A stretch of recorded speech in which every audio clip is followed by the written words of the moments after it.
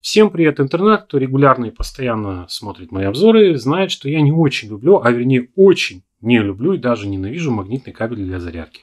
Просто потому, что сколько я их не тестировал, сколько я их не перебирал, я так и не смог найти более-менее достойного по качеству кабеля. Но, тем не менее, магнитный кабель для зарядки мне понадобился. Я решил в очередной раз не экспериментировать, не перебирать, не покупать кабеля, а решил купить штуки, которые в народе именуются переходниками, которые позволят мне сделать из любого кабеля, который есть у меня в наличии, простого кабель для зарядки магнитный. Это переходничок USB Type-C и это переходничок micro-USB. Мне в данный момент нужен micro-USB переходничок, но на всякий случай взял Type-C. Если окажется, что переходнички годные, я закажу себе еще. Работает все очень просто. Вы вставляете, он, кстати, двухсторонний, может вставляться любой стороной и кстати, я вам скажу, что его не так-то просто и вытащить. Он довольно мощный. Вставляете вот эту штуку магнитную в ваш девайс.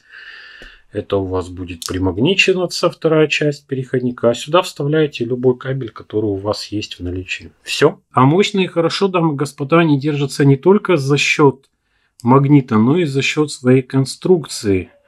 А конкретно, смотрите, тут не просто сделаны контакты, которые прилепляются к ответным контактам на другой стороне кабеля, а здесь сделана вот такая вот стеклотекстолитовая контактная площадка, которая входит в ответный паз на вот этой вот части.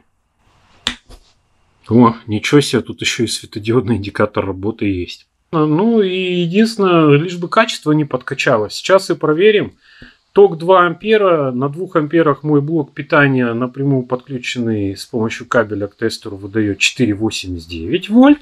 Ну и тот же самый блок питания, подключенный тем же кабелем к тому же тестеру, но уже через этот переходник, выдает 4,8 вольт. То есть на 2 амперах хорошего такого зарядного тока потери у нас составили, ну можно сказать, 9 сотых. Ну окей, одну десятую. Более того, скажу, что так как переходники содержат полноценное количество шин передачи данных и напряжения, они поддерживают, как вы видите, быструю зарядку.